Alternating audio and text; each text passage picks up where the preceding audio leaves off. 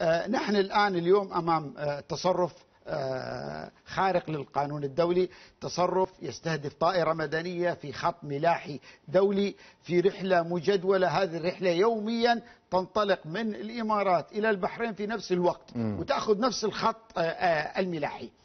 السؤال هنا لماذا الآن؟ نعم. أنا أعتقد أن النظام القطري من يعني أراد من خلال التصرف هذا والتصرف الأسبوع الماضي باتهام الإمارات باختراق الأجواء القطرية تحقيق ثلاثة أمور.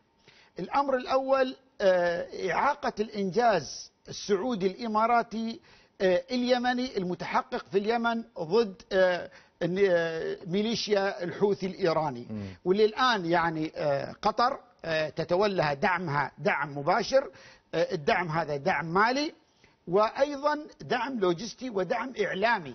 يعني ال- الآن ال- ال- المنصات الإعلامية اللي تدعمها قطر هي التي تتولى تسويق الحوثيين وترويج أكاذيبهم وإساءاتهم.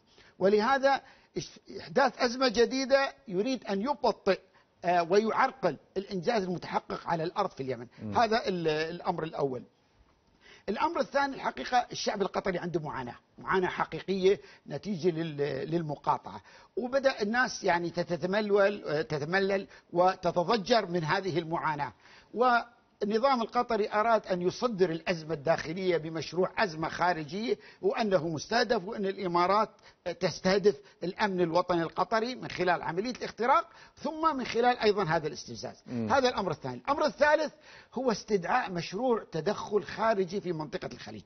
وهذا نهج دأب عليه النظام القطري وممكن أذكركم بأن آخر قمة مجلس تعاون لما عقدت في قطر آه، حمد بن خليفة دعا من؟